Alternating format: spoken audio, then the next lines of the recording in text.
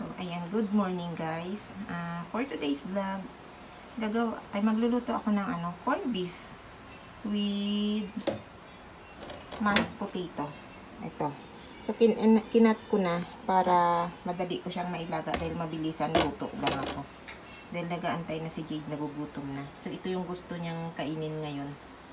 Actually, pang breakfast to. Pero gagawin ko na hanggang tanghalian kaya malaking malaki na yung niluto ko. Para isang luto lang ako.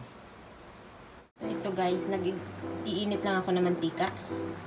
At ito ang aking mashed potato nilalaga ko na. Mamaya gagawin ko yan pagka lumambot na. Ayan na ang ating garlic. Ayan, susunod natin ang sibuyas.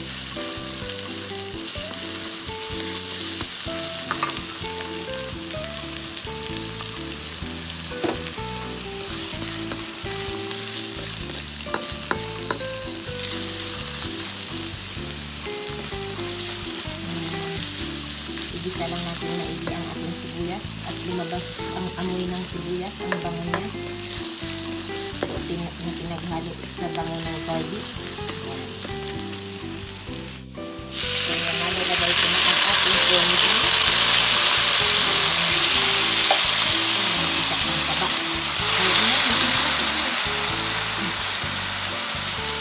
Ayan, na guys, nilagay ko na ang ating corned beef. Pala natanggal kung puti-puti. Tanggalin ko. Kasi mantika ito eh.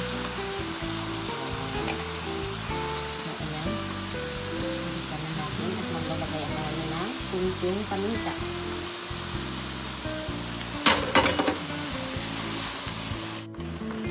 Ayan na siya guys, malapit na siyang maluto. So, ang gagawin ko dito, hindi ko siya tutuyuin, hindi ko ubusin yung sabaw neto. Dahil may mashed potato ako, so gagawin ko, itatoppings ko ito kailangan may sauce siya para yun yung panlasa niya dun mamaya sa mashed potato na dito.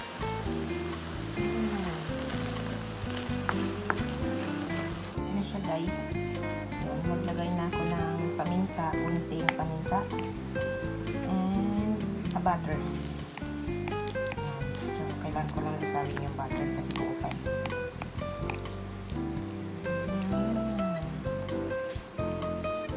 Ito yung gusto ni Jade. Ayaw niya ng iba.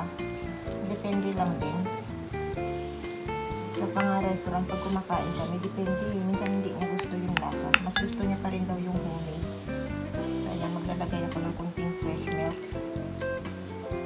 So, haluin lang natin.